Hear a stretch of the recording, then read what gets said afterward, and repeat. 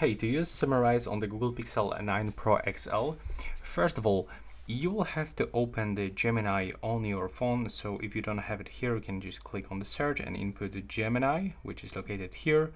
And now we can say, summarize my all unread emails. And now as you can see, we've got information that we have to connect uh, the Google Workspace. But if you have also information about and uh, to enable some settings in the Gmail, so open the Gmail, click on the left upper corner, go to the settings, now select account for this one that you're gonna use the Gemini, and you will have to scroll and enable this smart features and personalization and smart features and personalization in other Google products. Then go back to the Gemini and tap to continue. So now you will have to con you will have to connect the Google Workspace. Click to connect.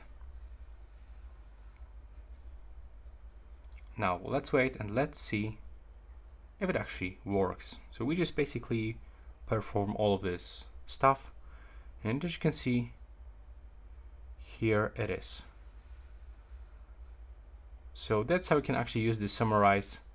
I found 20 emails in your inbox. Here's the summary of the. Yeah, and this is the summary of the emails. So as you can see, that's how it works right now. Please subscribe and see you in the next one.